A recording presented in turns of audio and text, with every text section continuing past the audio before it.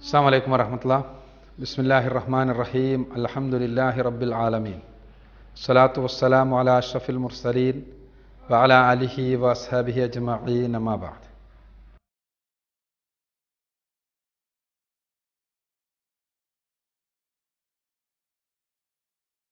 കുട്ടികളുടെ നന്മയ്ക്ക് വേണ്ടി മാതാപിതാക്കൾ ചെയ്യേണ്ടതെന്തൊക്കെ എന്ന വിഷയമാണ് ഇസ്ലാമിക് പാരന്റിങ്ങിൽ നമ്മൾ മനസ്സിലാക്കാൻ ശ്രമിക്കുന്നത്. പാരന്റിംഗ് എന്ന് പറഞ്ഞാൽ ഒരു കുട്ടിക്ക് ഓരോ വളർച്ചയുടെ ഘട്ടത്തിലും എന്തൊക്കെയാണോ പാരൻസ് നൽകേണ്ടത് എന്ന് പഠിക്കുകയും അത് നൽകുവാൻ പാരൻസിനെ പര്യാപ്തമാക്കുകയും ചെയ്യുന്ന ശാസ്ത്രശാഖയാണ്. ഇസ്ലാമിനെ സംബന്ധിച്ചിടത്തോളം കുട്ടികളോടുള്ള ബാധ്യത മതപരമായ ബാധ്യതയായി പഠിപ്പിക്കപ്പെട്ടവരാണ് മുസ്ലിങ്ങൾ എന്നുള്ള നിലയ്ക്ക്. പ്രവാചകൻ സലല്ലാഹു അലൈ വസ്ലമ മാതൃക കാണിച്ച രൂപത്തിൽ കുട്ടികളുടെ അവകാശങ്ങൾ നൽകി അവരെ നമ്മളെ അള്ളാഹു ഏൽപ്പിച്ച അമാനത്താണ് എന്ന് മനസ്സിലാക്കി സൂക്ഷിച്ച് ശ്രദ്ധിച്ച് പോറ്റിക്കൊണ്ടുവരിക മുസ്ലിങ്ങളുടെ ബാധ്യതയാണ്. എപ്പോഴാണ് പാരന്റിങ് ആരംഭിക്കേണ്ടത്? പല ഉത്തരങ്ങളുണ്ടാകാം. പക്ഷെ അതിൽ ആ ഉത്തരത്തിന് ഉപോത്ബലകമായി വർത്തിക്കേണ്ടത് ശാസ്ത്രീയമായ അറിവായിരിക്കണം. അപ്പോൾ വ്യക്തിയുടെ വളർച്ചയിൽ ഏത് സമയത്തൊക്കെയാണ് പാരൻസിന്റെ ഇടപെടലുണ്ടാകേണ്ടത് എന്ന ശാസ്ത്രീയമായ കാര്യങ്ങൾ പരിശോധിക്കാൻ വേണ്ടി നമുക്ക് ശ്രദ്ധിക്കുക. ഇതിനടിസ്ഥാനത്തിൽ ഗർഭകാലം മുതൽ തന്നെ പാരന്റിങ് ആരംഭിക്കേണ്ടതുണ്ട് എന്നാണ് ആധുനിക ശാസ്ത്രജ്ഞന്മാർ പറയുന്നത് പ്രീനാറ്റൽ പാരന്റിങ് എന്ന് അവരതിന് പേര് വിളിക്കും. ഗർഭകാലത്തെ പാരന്റിങ് എന്നർത്ഥം.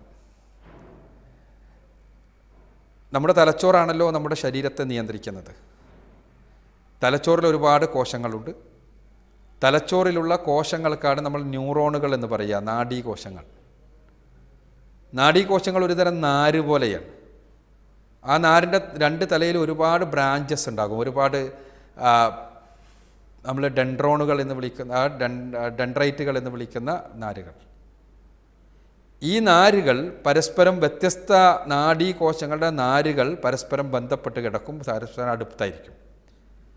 ആ നാരുകൾ തമ്മിലുള്ള വിടവിനാണ് സിനാപ്സുകൾ എന്ന് പറയുക ഈ സിനാപ്സുകൾ നാഡികളുടെ യോജിപ്പിക്കുന്ന സ്ഥലത്തുള്ള ആ സ്ഥലമാണ് സിനാപ്സ്. സിനാപ്സുകൾക്കകത്താണ് തലച്ചോറ് അതിൽ നമുക്ക് ലഭിക്കുന്ന വിവരങ്ങൾ ശേഖരിച്ചു വെക്കുന്നത്. അപ്പോൾ ഈ വിവരങ്ങൾക്കനുസരിച്ചാണ് നമ്മുടെ വ്യക്തിത്വം നമ്മുടെ ബുദ്ധി നമ്മുടെ കഴിവുകൾ എല്ലാം ഉണ്ടായി വരുന്നത്. നമുക്കറിയാം തലച്ചോറിലേക്ക് വിവരം കിട്ടുക എന്ന് പറഞ്ഞാൽ തലച്ചോറിന് സ്വന്തമായി വിവരം അന്വേഷിച്ച് കണ്ടുപിടിക്കാനുള്ള കഴിവില്ല. തലച്ചോർക്ക് കിട്ടിയ വിവരം അനുസരിച്ച് അതിനെ അപഗ്രഥിക്കാൻ മാത്രമേ തലച്ചോറിന് കഴിയൂ. നമ്മുടെ മസ്തിഷ്കത്തിലേക്ക് വിവരങ്ങൾ കിട്ടുന്നത് എങ്ങനെയാണ്? അഞ്ച് മാർഗങ്ങളിലൂടെയാണ്. കണ്ണും കാതും മൂക്കും നാക്കും ത്വക്കുമാകുന്ന അഞ്ച് ഇന്ദ്രിയങ്ങളിലൂടെ. ഈ ഇന്ദ്രിയങ്ങൾ എപ്പോൾ വളരുന്നു എന്ന് പരിശോധിച്ചു കഴിഞ്ഞാൽ നമുക്ക് എപ്പോൾ മുതൽ പാരന്റിങ് ആരംഭിക്കണം എന്ന് മനസ്സിലാകും. നാഡിയെക്കുറിച്ച് ഞാൻ പറഞ്ഞു നാഡീവ്യവസ്ഥ കുഞ്ഞ് ബീജസങ്കലനം നടന്ന് പതിനാറാമത്തെ ആഴ്ച മുതൽ തന്നെ ന്യൂറൽ ട്യൂബ് എന്ന് പറയുന്ന ഒരു ട്യൂബ് ഉണ്ടായി നാഡീവ്യവസ്ഥയുടെ പ്രാഥമിക രൂപം വളരാൻ ആരംഭിക്കുന്നു. ഇതിനു മുമ്പ് തന്നെ പന്ത്രണ്ടാമത്തെ ആഴ്ച തന്നെ ഏകദേശം സ്വാദുമുകുളങ്ങൾ രൂപപ്പെട്ടിരിക്കും. പതിനാലാമത്തെ ആഴ്ച സ്പർശത്തിനാവശ്യമായ സംവിധാനങ്ങളും ശരീരത്തിലുണ്ടാകും പതിനഞ്ചാമത്തെ ആഴ്ചയാണ് വാസനക്കുള്ള സംവിധാനങ്ങൾ ശരീരത്തിലുണ്ടാവുക ഇരുപത്തിനാലാമത്തെ ആഴ്ചയാകുമ്പോഴേക്ക് കേൾവിക്ക് ആവശ്യമായ സംവിധാനങ്ങൾ ശരീരത്തിൽ രൂപപ്പെട്ടിരിക്കും. ഇരുപത്തിയാറാമത്തെ ആഴ്ചയാകുമ്പോഴേക്ക് കാഴ്ചക്കുള്ള സംവിധാനങ്ങളും ശരീരത്തിൽ രൂപപ്പെട്ടിട്ടുണ്ടാകും. ഈ സംവിധാനങ്ങൾ രൂപപ്പെടുമ്പോൾ ഇത് ഗർഭാശയത്തിനകത്തെ ഇരുട്ടിലാണ് രൂപപ്പെടുന്നത്. അതുകൊണ്ട് തന്നെ ഇത് പ്രവർത്തനക്ഷമമാകുക എന്നത് പലപ്പോഴും ഗർഭാശയത്തിന് പുറത്ത് വന്നിട്ടാണ് പടച്ചതമ്പുരാന്റെ വളരെ അത്ഭുതകരമായ സൃഷ്ടി വൈഭവമാണത് പന്ത്രണ്ടാമത്തെ ആഴ്ച രൂപപ്പെടുന്ന സ്വാദുമുകളങ്ങൾ പക്ഷേ സ്വാദ് കുഞ്ഞ് ആസ്വദിക്കാൻ തുടങ്ങുന്നത് എവിടുന്ന? ഗർഭാശയത്തിന് പുറത്ത് വന്നതിന് ശേഷം. എന്തുകൊണ്ട്? ഗർഭാശയത്തിനകത്ത് വായിലൂടെ കുട്ടിക്ക് യാതൊന്നും ലഭിക്കുന്നില്ല. പൊക്കിൾക്കൊടിയിലൂടെയാണ് കിട്ടുന്നത്. അതുകൊണ്ട് തന്നെ മുലപ്പാൽ ആസ്വദിക്കാൻ തുടങ്ങുമ്പോൾ മാത്രമാണ് കുട്ടി സ്വാദ ആസ്വദിക്കാൻ തുടങ്ങുന്നത്. ഇതേപോലെ തന്നെയാണ് വാസന. ഇതേപോലെ തന്നെയാണ് കാഴ്ച. കാഴ്ചക്ക് ആവശ്യമായ കണ്ണും അതിന്റെ അനുബന്ധ ഭാഗങ്ങളുമെല്ലാം ഇരുപത്തിയാറാമത്തെ ആഴ്ച രൂപപ്പെടുമെങ്കിലും കാണാൻ തുടങ്ങുന്നത് ഗർഭാശയത്തിന് പുറത്തു വന്നതിന് ശേഷമാണ്. അപ്പം തന്നെ ശരിക്കും കുഞ്ഞ് വേണ്ട നമ്മൾ കാണുന്ന രൂപത്തിൽ പ്രപഞ്ചത്തെ കാണില്ല. കുട്ടി ആ സമയത്ത് കേവലം നിഴലുകൾ മാത്രമാണ് കാണുക. കാഴ്ച കുട്ടിയുടേത് ജനിച്ചതിന് ശേഷം വളർന്ന് വളർന്ന് ആറുമാസമാകുമ്പോഴേക്കാണ് നമ്മൾ കാണുന്ന രൂപത്തിലുള്ള വ്യത്യസ്ത വർണങ്ങളിലുള്ള നമ്മുടെ ചുറ്റുപാടിനെ കുട്ടി കാണാൻ തുടങ്ങുക. എന്നാൽ ഗർഭാശയത്തിനകത്ത് വെച്ച് തന്നെ കുട്ടിക്ക് പ്രവർത്തനക്ഷമമാകുന്ന രണ്ട് ഇന്ദ്രിയങ്ങളുണ്ട് അതിൽ ഒന്നാമത്തെ സ്പർശമാണ് രണ്ടാമത്തേത് കേൾവിയാണ്. ഇത് രണ്ടും കുട്ടിയുടെ വളർച്ചയുമായി വൈകാരിക വളർച്ചയുമായി ഏറെ ബന്ധമുള്ളതാണ്. അതുകൊണ്ട് തന്നെ ഈ രണ്ട് ഇന്ദ്രിയങ്ങൾ ഉണ്ടാകുന്ന സമയം മുതൽ പാരൻസിന്റെ ശ്രദ്ധയുണ്ടാകേണ്ടതുണ്ട്. സ്പർശം. കുട്ടിയെ ജനിച്ചു കഴിഞ്ഞതിന് ശേഷം കുട്ടിയെ എത്ര സ്പർശിക്കാൻ കഴിയുമോ അത്രയും കുട്ടിയുടെ വൈകാരികമായ വളർച്ചയുണ്ടാകുമെന്നാണ് ശാസ്ത്രം പറയുക. സ്പർശിക്കപ്പെടാനുള്ള ഒരു തരം ആർത്തിയോടുകൂടിയാണ് കുഞ്ഞുങ്ങളെല്ലാം ജനിക്കുന്നത്. അപ്പോൾ സ്പർശിക്കുവാൻ സ്പർശിക്കപ്പെടുവാൻ കുട്ടിയുടെ സ്വാഭാവികമായൊരു ത്വരയുണ്ട്. ആ ത്വര ഗർഭാശയത്തിനകത്തുമുണ്ട്. മാതാവിന്റെ ഗർഭാശയത്തിനകത്ത് കിടക്കുന്ന കുഞ്ഞിനെ സ്പർശിക്കുന്നത് എങ്ങനെയാണ്? പുറത്തുകൂടിയുള്ള തലോടലിലൂടെ. മാതാവിന്റെ തലോടൽ കുട്ടിക്ക് വൈകാരികമായ ഫലം ചെയ്യും. പിതാവിന്റെ തലോടലും ഫലം ചെയ്യും. അവിടെയാണ് ആ സമയത്തുള്ള സ്നേഹ മനു ആ, സ്നേഹമസൃതമായ തലോടലുകൾക്ക് സ്പർശങ്ങൾക്ക് പ്രസക്തിയേറുന്നത്. അതേപോലെ തന്നെ ഞാൻ പറഞ്ഞു ഇരുപത്തിനാലാമത്തെ ആഴ്ച കേൾവി തുടങ്ങും. കേൾവിക്ക് ആവശ്യമായ സംവിധാനങ്ങൾ ഉണ്ടാകും. കുട്ടി കേൾക്കാനും തുടങ്ങും. കുട്ടി എന്താ കേൾക്കുന്നത്?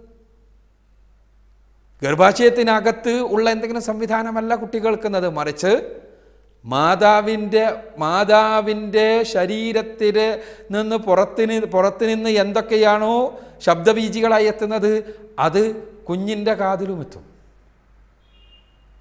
പച്ചയായി പറഞ്ഞാൽ മാതാവ് എന്തൊക്കെയാണോ കേൾക്കുന്നത് അത് കുഞ്ഞും കേൾക്കും. ഈ കേൾക്കുന്നത് കുഞ്ഞിന്റെ തലച്ചോറിൽ അതേപോലെ രേഖപ്പെടുത്തപ്പെടും. കുഞ്ഞിന്റെ വ്യക്തിത്വത്തിന്റെ നിർണയത്തിൽ അതിന് വലിയ പങ്കുണ്ട്. പ്രീനാറ്റൽ പാരന്റിങ്ങിൽ നമ്മൾ ഏറ്റവും കൂടുതൽ ശ്രദ്ധിക്കേണ്ട കാര്യം അതാണ്. ഈ സന്ദർഭത്തിൽ മാതാക്കൾ നന്മയാണ് കേൾക്കുന്നതെങ്കിൽ നന്മയായിരിക്കും കുഞ്ഞിന് കുഞ്ഞിന്റെ വ്യക്തിത്വത്തിന്റെ അടിത്തറ.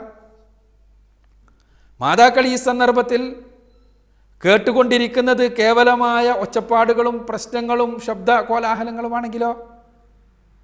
ആ രൂപത്തിൽ തന്നെയായിരിക്കും കുട്ടിയുടെ മാനസികാവസ്ഥ.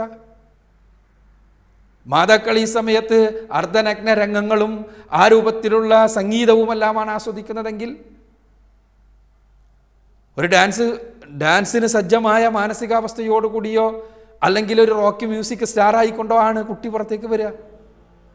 ഇത് ഞാൻ പറയുന്നതല്ല ഇത് വളരെ കൃത്യമായ പഠനങ്ങൾ നടത്തിയിട്ടുള്ള ആ- രംഗത്തെ വിദഗ്ധന്മാർ സംസാരിക്കുന്നതാണ്. ഗർഭകാലഘട്ടത്തിൽ സ്ഥിരമായി ആക്ഷൻ ത്രില്ലറുകൾ കണ്ടുകൊണ്ടിരിക്കുന്ന മാതാക്കളാണെങ്കിൽ ആ ഒച്ചപ്പാടുകളാണ് കുട്ടിയെ സ്വാധീനിക്കുന്നതെങ്കിൽ പുറത്തേക്ക് വരുന്നത് തന്നെ ചിലപ്പോൾ കയ്യിൽ ഒരു എ കെ ഫോർട്ടി സെവൻ കയ്യിലുണ്ടോ എന്ന് കരുതാൻ പറ്റുന്ന മാനസികാവസ്ഥയിലായിരിക്കും. ഈ സന്ദർഭത്തിൽ കുട്ടി കേൾക്കുന്ന കാര്യങ്ങൾക്ക് മറ്റൊരു സവിശേഷത കൂടിയുണ്ട്. അത് സിമന്റിൽ രേഖപ്പെടുത്തപ്പെട്ടതുപോലെയാണ്. സിമന്റിൽ സിമന്റ് ഉറക്കുന്നതിന് മുമ്പ് എഴുതിയാൽ പിന്നെ വായിക്കാൻ നമുക്ക് കഴിയില്ലല്ലോ. പിന്നെ നമുക്ക് ചെയ്യാൻ പറ്റുക അതിന് ചുറ്റുപാടും മറ്റ് ആർട്ട് വർക്കെല്ലാം നടത്തിയിട്ട് ഈ എഴുതിയത് ഇല്ല എന്ന് വരുത്തി തീർക്കാനേ കഴിയൂ മാറ്റാൻ നമുക്ക് കഴിയില്ല. അതുകൊണ്ട് തന്നെ ഗർഭകാലഘട്ടത്തിൽ നല്ലത് കേൾക്കുക നല്ല ഉപദേശങ്ങൾ കേൾക്കുക നല്ല സംസാരങ്ങൾ കേൾക്കുക നല്ല കാര്യങ്ങൾ മാത്രം ശ്രവിക്കുക. ഇത് പ്രീനാരിറ്റൽ പാരന്റിങ്ങിന്റെ ഒരു അടിസ്ഥാന പാഠമാണ്. അതേപോലെ തന്നെ ആ സമയത്ത് വീട്ടിൽ കുഴപ്പങ്ങളില്ലാതിരിക്കുക പ്രശ്നങ്ങളില്ലാതിരിക്കുക തമ്മിൽ വഴക്കില്ലാതിരിക്കുക. അലൈഹി വസല്ലം പറഞ്ഞല്ലോ. നിങ്ങൾ നിങ്ങളുടെ ഭാര്യമാരുമായി തെറ്റുകയാണെങ്കിൽ പോലും ഉണ്ടാകാം സ്വാഭാവികമായി. അത് നിങ്ങളുടെ മുറിക്കപ്പുറത്തേക്ക് പോകരുത്. നിങ്ങളുടെ നിങ്ങൾ അത് ഒച്ചപ്പാടുകളായി പ്രശ്നങ്ങളായി ശബ്ദകോലാഹലങ്ങളായി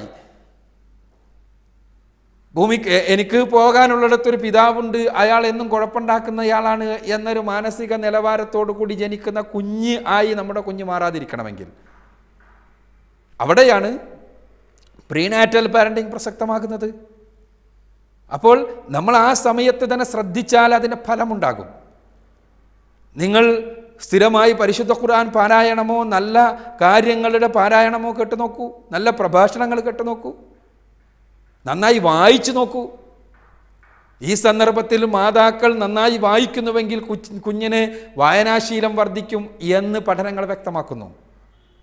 പരിശുദ്ധ ഖുർആൻ നിങ്ങൾ കൃത്യമായി പാരായണം കേട്ടാൽ ആ പാരായണത്തിന് കുട്ടിയുടെ മനസ്സ് സ്വാഭാവികമായ ഒരു ചായ്വുണ്ടാകും എന്നും പഠനങ്ങൾ അനുഭവ പാഠങ്ങൾ വ്യക്തമാക്കിയിട്ടുണ്ട്. അപ്പം അതുകൊണ്ട് തന്നെ നല്ലത് കേൾക്കുക ആ സന്ദർഭത്തിൽ. കുട്ടിയോടുള്ള നന്മക്ക് വേണ്ടിയും കൂടി ആണ് പ്രധാനമായും നമ്മൾ ആ കാര്യം പറയുന്നത്. സാധാരണയായി പ്രീനാറ്റൽ പാരന്റിങ്ങിൽ ശ്രദ്ധിക്കണമെന്ന് പറയാറുള്ള കാര്യങ്ങളുണ്ട്. അതിലൊന്നാമത്തേത് ഹെൽത്തി ആയിട്ടുള്ള ഫുഡ് കഴിക്കണമെന്ന് അതേപോലെ വേണ്ടത്ര ജലം കഴിക്ക കുടിക്കണമെന്ന് ദ്രാവകം ഉള്ളിലേക്ക് എത്തണമെന്ന് ആവശ്യമായ റെസ്റ്റ് വേണമെന്ന് ഫിസിക്കൽ ആക്ടിവിറ്റി റെഗുലറായി നടക്കണമെന്ന് അതേപോലെ തന്നെ ശരീരത്തിൽ മെല്ലെ തടവണമെന്ന് അതേപോലെ വാമായിട്ടുള്ള ഷവേഴ്സ് കുള്ളി നടക്കണമെന്ന് എല്ലാം പറയാറുണ്ട്. അതോടൊപ്പം തന്നെ ഏറ്റവും പ്രധാനപ്പെട്ടത് ആ സന്ദർഭത്തിൽ സമാധാനപൂർണമായ അന്തരീക്ഷത്തിലായിരിക്കണം ജീവിക്കേണ്ടത് എന്നാണ്. ആ സന്ദർഭത്തിൽ കുഴപ്പങ്ങളുള്ള ഒച്ചപ്പാടുകളുള്ള അന്തരീക്ഷത്തിലാകരുത്. എന്തുകൊണ്ടെന്നാൽ മാതാവിന്റെ മാനസികാവസ്ഥയെ കുട്ടിയെ കുട്ടിയെ ബാധിക്കുന്നുണ്ട്.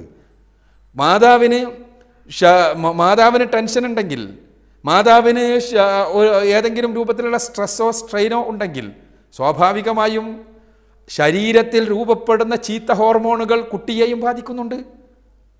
അതേപോലെ തന്നെ തിരിച്ചും. അപ്പം അതുകൊണ്ട് തന്നെ ആ സന്ദർഭത്തിൽ വളരെ പീസ്ഫുള്ളായിട്ടുള്ള വളരെ സമാധാനപൂർണമായിട്ടുള്ള അന്തരീക്ഷത്തിൽ ജീവിക്കണം. അതേപോലെ ആ സന്ദർഭത്തിൽ പരമാവധി തന്റെ ഇണയെ സ്നേഹിക്കണം. അതേപോലെ ഇണയെ കൊണ്ട് സ്നേഹിപ്പിക്കുകയും ചെയ്യണം. അത് സ്ത്രീയും പുരുഷനും ശ്രദ്ധിക്കേണ്ട കാര്യമാണ്. തന്റെ ഇണയെ പരമാവധി സ്നേഹിക്കുകയും സ്നേഹസല്ലാപങ്ങളും ശൃംഗാരങ്ങളും വർദ്ധിപ്പിക്കുകയും തിരിച്ചും അത് ഉണ്ടാക്കുവാൻ ആവശ്യമായ സാഹചര്യങ്ങൾ സൃഷ്ടിക്കുകയും ചെയ്യണം. ഈ സന്ദർഭത്തിൽ ഉണ്ടാകാൻ പാടില്ലാത്തതാണ് മരുന്നുകൾ. പരമാവധി മരുന്നുകൾ എന്ന് ഒഴിഞ്ഞു നിൽക്കണം. പുകവലി ഉണ്ടാകരുത്. നിക്കോട്ടിൻ അടക്കത്തേക്ക് കടന്നു ചെല്ലരുത്. മദ്യം ഒരു കാരണവശാലും ഉണ്ടാകരുത്. ഒരു മുസ്ലിമിനെ സംബന്ധിച്ചിടത്തോളം ഇതൊന്നും പറയേണ്ട കാര്യമില്ല. പക്ഷേ പൊതുവായ വിഷയങ്ങൾ എന്നുള്ളവർക്ക് സൂചിപ്പിക്കുകയാണ്. പരമാവധി രോഗം കടന്നു വരാതിരിക്കാൻ സൂക്ഷിക്കണം. നമ്മുടെ ശരീരത്തിൽ രോഗമുണ്ടായാൽ അത് കുഞ്ഞിനും രോഗമായി ഭവിക്കാൻ സാധ്യതയുണ്ട്. അതുകൊണ്ട് രോഗമില്ലാതിരിക്കാൻ ശ്രദ്ധിക്കണം. അതേപോലെ തന്നെ സ്ട്രെസ് ഉണ്ടാകരുത്. മനസ്സംഘർഷം ഉണ്ടാകരുത്. സംഘർഷം വളരെ അപകടകരമാണ്. കുഞ്ഞിനെ വളരെ അപകടകരമായി ബാധിക്കും. മനസ്സംഘർഷം വർദ്ധിച്ചാൽ തീർച്ചയായും പ്രഷർ കൂടും. പ്രഷർ കൂടിയാൽ അതിനനുസരിച്ച് കുഞ്ഞിന് ബുദ്ധിമാന്യം വരെ വരാനുള്ള സാധ്യതയുണ്ട്. അതുകൊണ്ട് തന്നെ സ്ട്രെസ് ഉണ്ടാകരുതെന്ന് പറയുമ്പോൾ പ്രത്യേകിച്ച് രക്ഷിതാക്കളിൽ പുരുഷന്മാർ ശ്രദ്ധിക്കേണ്ടത് അത്തരം സ്ട്രെസ് സൃഷ്ടിക്കുന്ന ആളുകളായി അവർ മാറരുത് എന്നാണ് ഈ സന്ദർഭത്തിൽ. അവർ മാതാക്കൾക്ക് തങ്ങളുടെ ഇണകളുടെ മനസ്സുകൾക്കകത്ത് സംഘർഷം സൃഷ്ടിക്കുന്ന ആളുകളായി ഈ സന്ദർഭത്തിൽ മാറരുത്. അങ്ങനെ മാറിയാൽ കുഞ്ഞിനുണ്ടാകുന്ന തകരാറുകളുടെ ഉത്തരവാദിത്വം അവർക്കായിരിക്കുമെന്നുള്ള തിരിച്ചറിവ് അവർക്ക് ഉണ്ടാക്കണം. അതേപോലെ നല്ല അന്തരീക്ഷത്തിന് പകരം ചീത്ത അന്തരീക്ഷമാകരുത് ആ സമയത്ത് ജീവിക്കേണ്ടത്. കുഴപ്പങ്ങളും പ്രശ്നങ്ങളും ഒച്ചപ്പാടുകളും എല്ലാമുള്ള അന്തരീക്ഷം ഒഴിവാക്കണം. നല്ല അന്തരീക്ഷത്തിൽ ജീവിക്കണം. ആ സന്ദർഭത്തിലെല്ലാം ഒരിക്കലും ഉണ്ടാകാൻ പാടില്ലാത്തതാണ് ഇണയുമായി ഒരു ഒരു ഒരു ഒരു പിണക്കവും പ്രശ്നവും. ഇണയുമായും ഇണ ഇണയുമായി പിണക്കവും പ്രശ്നവും ഉണ്ടാകുന്ന സന്ദർഭത്തിൽ സ്വാഭാവികമായും ഞാൻ നേരത്തെ സൂചിപ്പിച്ചതുപോലെ ശരീരത്തിൽ രൂപപ്പെടുന്ന ചീത്ത ഹോർമോണുകൾ കുട്ടിയുടെ മാനസിക വൈകാരിക നിലവാരങ്ങളെ ബാധിക്കുമെന്നുള്ളതാണ് വാസ്തവം. അതുകൊണ്ട് തന്നെ പ്രീനാറ്റൽ പാരന്റിങ് വളരെ പ്രധാനപ്പെട്ടതാണ്. ഗർഭകാലത്ത് കുട്ടിയുടെ നന്മ ഉദ്ദേശിച്ചുകൊണ്ട് മാതാവിന്റെയും പിതാവിന്റെയും സ്വഭാവങ്ങളിൽ ചെറിയ രൂപത്തിലുള്ള മാറ്റങ്ങളുണ്ടാകണം. സീരിയലുകൾക്കും ടെലിവിഷനുമെല്ലാം അഡിക്റ്റ് ആയിട്ടുള്ള ആളുകൾ ഈ സന്ദർഭത്തിൽ അത്തരം കാര്യങ്ങളിൽ നിന്ന് മാറി നിൽക്കണമെന്ന് സാമൂഹ്യ മനഃശാസ്ത്രജ്ഞന്മാർ ശിശു ശാസ്ത്രജ്ഞന്മാർ എല്ലാം നമ്മളെ ഉപദേശിക്കുന്നു. ആ കാര്യം പ്രത്യേകം ശ്രദ്ധിക്കണം. നമ്മുടെ മക്കളെ നാടിന് സമൂഹത്തിന് നമുക്ക് ആദർശത്തിന് എല്ലാം ഗുണകരമായ രൂപത്തിൽ വളർത്താൻ ആവശ്യമായ കാര്യങ്ങൾ പഠിക്കാൻ മനസ്സിലാക്കാൻ നമ്മൾ സന്നദ്ധമാകുക. അള്ളാഹു അനുഗ്രഹിക്കട്ടെ. ഗർഭകാലത്തെ ഭാര്യ പരിചരണത്തെക്കുറിച്ച് താങ്കൾ പറഞ്ഞുവല്ലോ. എങ്കിൽ ആ സമയത്തെ ലൈംഗിക ബന്ധത്തെക്കുറിച്ച് ഇസ്ലാം എന്ത് പറയുന്നു?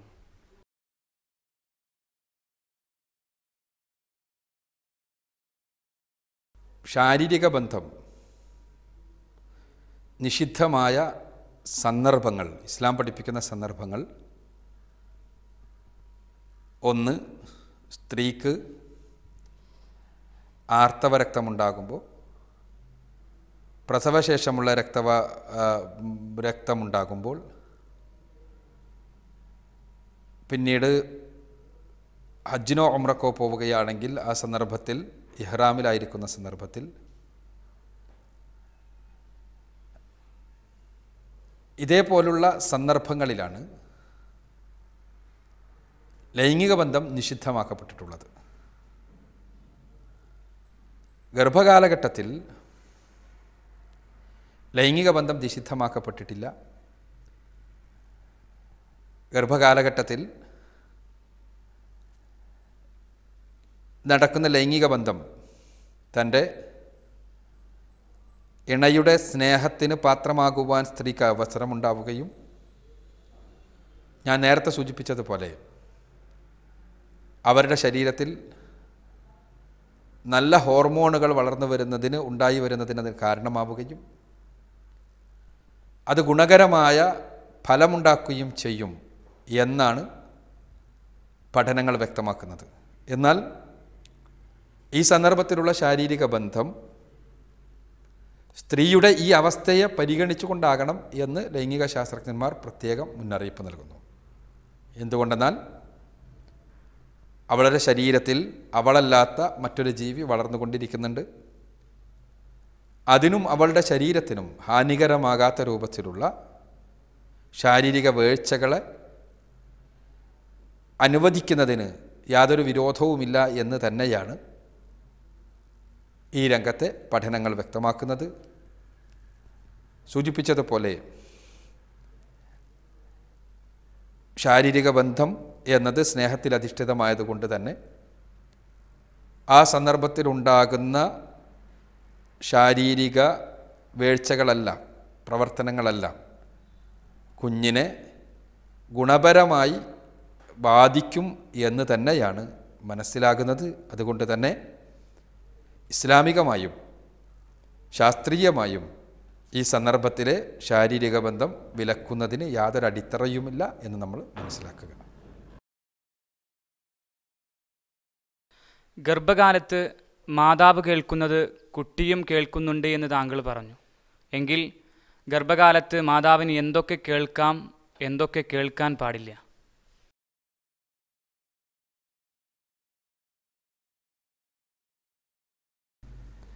സാധാരണഗതിയിൽ നമ്മുടെ നാട്ടിലെ ഒരു പൊതു സെൻസസ് പ്രകാരം ഗർഭകാലഘട്ടം എന്നത് സ്ത്രീയെ സംബന്ധിച്ചിടത്തോളം അവൾ പല പലരെ പലരെയും സംബന്ധിച്ചിടത്തോളം അത് റെസ്റ്റിനുള്ള കാലമായിട്ടാണ് കാണപ്പെടുന്നത്. യഥാർത്ഥത്തിൽ ആ സമയത്ത് ഫിസിക്കൽ ആക്ടിവിറ്റീസ് കൂടുകയാണ് വേണ്ടത്.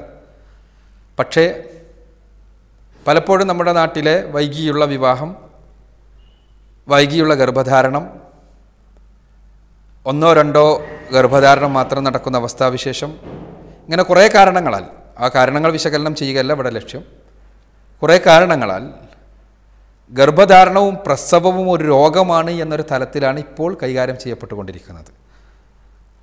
ഹോസ്പിറ്റലുകളിലെ പ്രധാനപ്പെട്ട ഒരു ഡിപ്പാർട്ട്മെന്റ് തന്നെ പ്രസവം കൈകാര്യം ചെയ്യാൻ വേണ്ടിയാണ്. രോഗമല്ല പ്രസവം എന്ന വസ്തുത എന്ത് എത്ര പറഞ്ഞ് ബോധ്യപ്പെടുത്താൻ ശ്രമിച്ചാലും അത് ബോധ്യപ്പെടാത്ത ഒരു തലമാണുള്ളത്.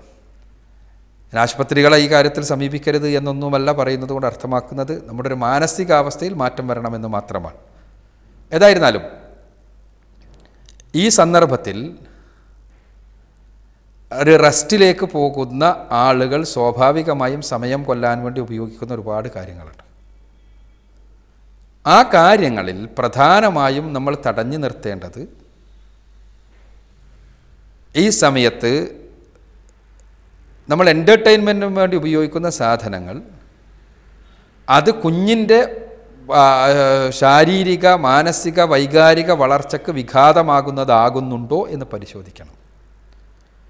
മൊത്തത്തിൽ അമേരിക്കൻ സൈക്കാട്രിക് അസോസിയേഷനെല്ലാം പറയുന്നത് ഈ സന്ദർഭത്തിൽ ടെലിവിഷൻ സീരിയലുകളും പരസ്യ ചിത്രങ്ങളും ആക്ഷൻ ത്രില്ലറുകളും അതേപോലെ വമ്പിച്ച മ്യൂസിക്കൽ ആയിട്ടുള്ള എന്റർടൈൻമെന്റുകളും ഒഴിവാക്കുന്നതാണ് ഉത്തമമെന്നാണ്.